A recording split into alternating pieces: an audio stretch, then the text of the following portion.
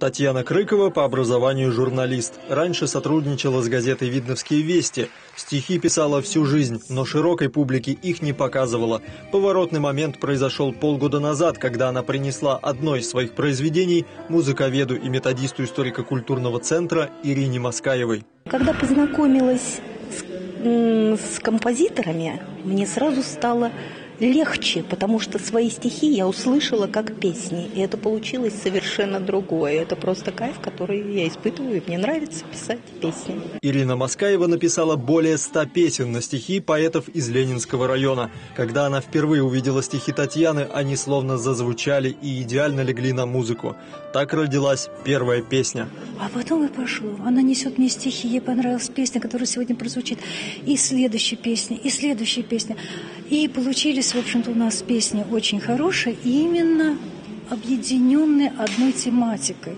И тогда Татьяна стала работать именно над книгой, где чередование стихов и музыкального обрамления, так сказать, к этим стихам очень э, явственно и очень значимо. Очень быстро удалось выпустить издание «У России. Женская душа», где собраны стихотворения и песни с нотами для фортепиано. Автор называет свое творчество «исповедью женской души». На первое литературно-музыкальное мероприятие были приглашены друзья, близкие и члены объединения имени Шкулева.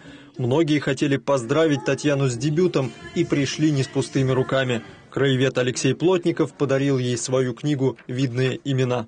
Эта книга, которая вышла недавно, в прошлом году, э, она рассказывает о тех людях, э, которые оставили большой след в жизни Ленинского района, в истории Видновского края.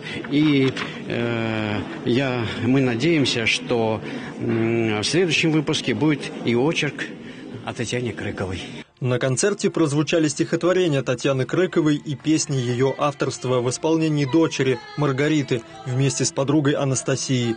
Также несколько романсов исполнила певица Юлия Загоскина под аккомпанемент заслуженной артистки России Елены Баженовой.